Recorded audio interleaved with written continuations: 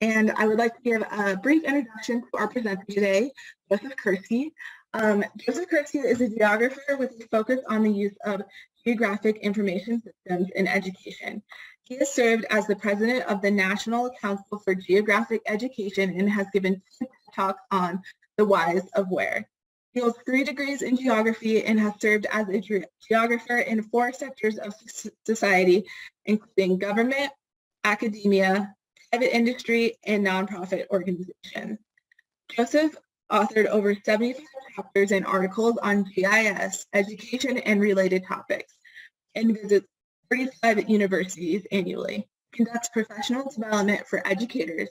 He has created 5,000 videos, 750 lessons, 1,000 blog essays, and authored eight books, including Interpreting Our World, Essentials of Environment, Spatial Mathematics, Tribal GIS, International Perspectives on Teaching and Learning, and the GIS Guide to Public Domain Data. But as a lifelong learner, he feels as though he's just getting started and thus actively seeks mentors, partners, and collaboration. All right, and with that, I will be passing it over to Joseph. Well, many thanks for the kind words, Brianna, and for CAEE's support for this and prior workshops that I've given. I'm looking forward to working with you all, not just today, but in the future. I've got my contact information that I'm going to share in a moment. But today's focus, which is very appropriate for Earth Day, because it also touches on one of the, well, actually several of the UN Sustainable Development Goals, is all about water and how to teach and learn about water with interactive web mapping tools and data. So I'm going to focus on giving you, em empowering you with tools, data sets, but more importantly, why this all matters. And lastly, give you confidence that you can actually use these tools in your own instruction at a variety of different levels in a, in a variety of different disciplines. One of the things I love about mapping technologies that touches a lot of different disciplines. And Brianna mentioned my spatial mathematics book. So mathematics, history, environmental science, geography, earth science, uh, and even sociology and other things. So we'll, we'll, we'll have a nice chat about the touch points of all of these things today in the next three hours. Just kidding. We don't have three hours. Just want to make sure you folks are on your toes. Here's my contact information. I also have this whole thing as a story map, which is one of the tools that we'll talk about today a story map. And so I've got quite a bit of content in this story map. I'm not going to have time to go through every single link in here, but I invite you in that chat box to explore that story map even while I'm speaking so you can start investigating on your own, okay? Now, I'm rather passionate about this, as Brianna very kindly mentioned. I have on the Our Earth YouTube channel, I have over 5,000 videos. Okay, so just like you passionate educators, I'm very passionate about why this all matters and why we need to teach about water and related issues with our students at all levels. Not just here in Colorado, but around the world. And I also wanted to mention that if you want a daily dose of all things geo, STEM, mapping, uh, I do have a Twitter feed that's a little geeky and nerdy, but it's all focused on what we're talking about today. And as Brianna also very kindly mentioned, I have toes in four sectors of society waters. And I'm not going to bore you with my own background, but just to let you know that having these tools on your tool belt helps your students to pursue pathways like these and many others. They're going to be valuable in multiple sectors of society, private, private industry, nonprofits, academia, schools, and government agencies, local to global.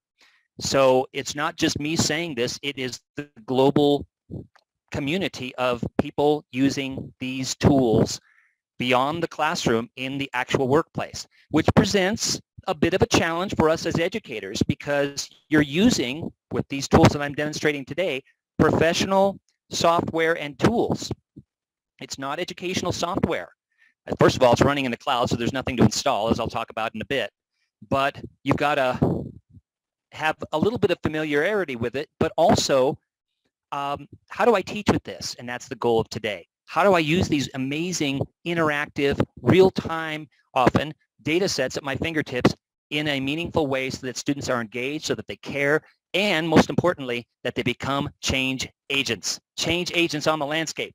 So we're going to talk about a lot about mapping today, and mapping tools. But remember, the goal is not to learn how to use these geotechnology tools, these geographic information systems or GIS tools.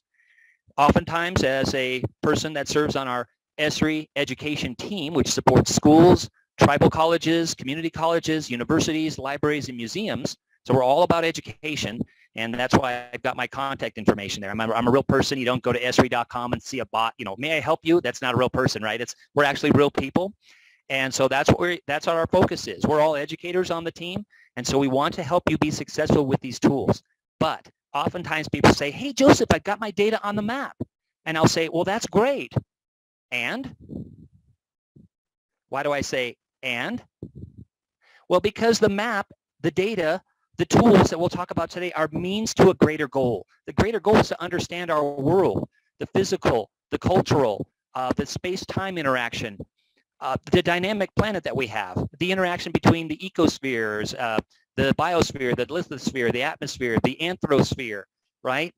All of those spheres and the cycles, the carbon cycle, the hydrologic cycle, et cetera, and to see the Earth holistically as a system of systems. That's what these tools foster.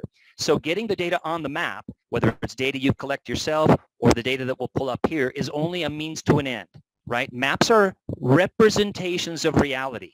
They're not reality, they're representations. They're very useful representations, but again, the greater goal is to get the students to understand the interaction between these elements on our wonderful dynamic planet. Anyway, happy Earth Day. And I started off Earth Day at 5 a.m. You can do this tomorrow morning. I went outside in the eastern horizon. You may know this. There are four planets that are lined up right before the sun comes up. So go and check that out tomorrow morning if it's clear. It's uh, fascinating, and it, kind of sets the nice, a nice tone for the day. So that was the start of my day, and I'm really happy to be with you all.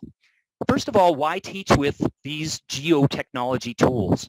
Well, I think one reason is that geo-awareness, not just on Earth Day or Earth Week and, and other places that we could mark during the year, Earth Science Week in October, GIS Day in November, Geography Awareness Week in November, etc.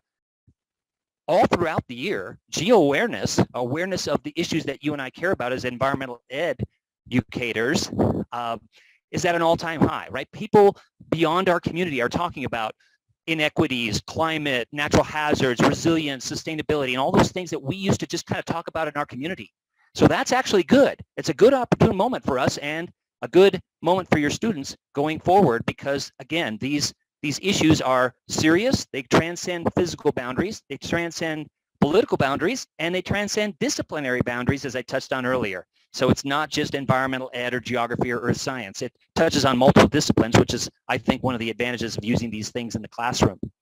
So the geo-awareness is at an all-time high. And as I touched on a moment ago, the skills that you're fostering using these interactive web maps are in high demand in the workplace. I talked about that a moment ago, and I don't I don't want to spend more time on that, but just to let you know that my organization hires, we have about 8,000 employees at ESRI, Environmental Systems Research Institute. We actually hire people with the skills that you all are fostering in the classroom.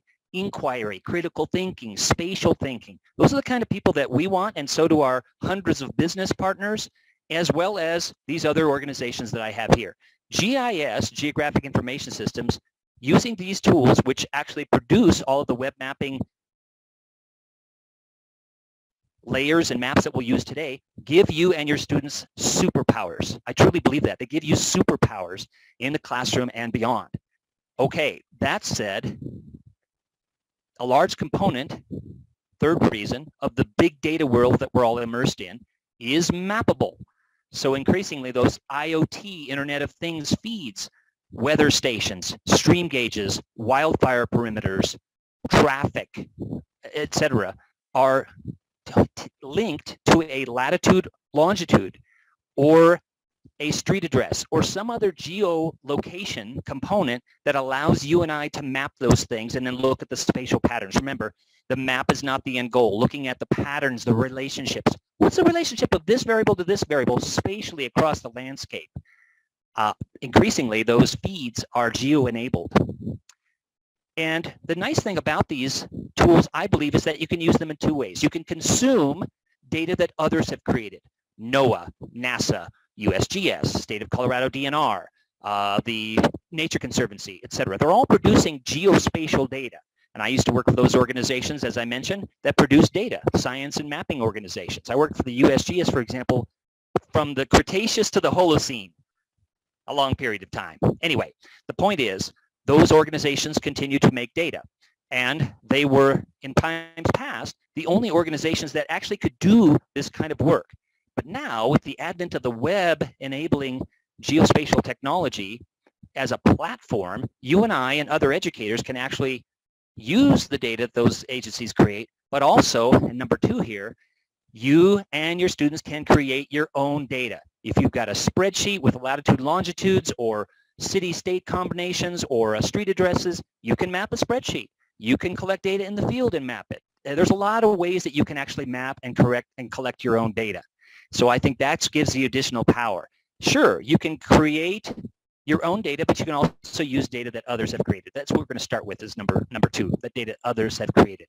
I also wanted to just assure you folks that GIS is a spatial science and it is anchored in the broader science community. So for example, if you go to GIS for science, you'll see all sorts of applications, which is a nice way to start all this off with, with students about, hey, you know, geospatial technology and spatial thinking are all over the UN SDGs, um, E.O. Wilson's Half Earth Foundation, the Jane Goodall Elephant Foundation, and other initiatives around the world. I mean, GIS is a fundamental component to all of those discussions, and you can explore more on this GIS for Science page. Also, wanted to mention that we have in here in this story map, I've got the climate hub. Now we're not overly focused on climate today, but it affects water. So I thought I'd mention that we actually have a whole set of resources, interactive maps and layers and so on on this Esri Climate Hub, okay, for you to explore. Some of the data is in real time, etc. So there's there's no shortage of visualizations and maps on this alone. This could occupy our whole webinar, but alas, we're going to be focused on on water, which is a good thing also. Okay, so that all being said, those are what I would submit to you all as the three reasons for considering using these tools in your educational journey. Now, as Brianna and I were talking about before the webinar started, this could be analogous to chemistry or physics or biology. You're not going to learn any of those disciplines in 50 minutes together. And you're not going to learn all of geotechnologies in 50 minutes together. However, I truly believe that with this short webinar, you're going to be empowered to say, you know what, I don't have to be a geotechnologies guru to use these tools in the classroom. Now, I know we have some people on the webinar that have been using web mapping applications, story maps, dashboards, geotechnologies for many years, like Ms. Olson out there. And others are just new to this. But no matter where you are in the sort of journey, um, I think that you'll find that you know what, I get what Joseph's saying, and I'm, I can do that tomorrow in the classroom. That's the kind of confidence that I want you to, to gain from this workshop. Now I've got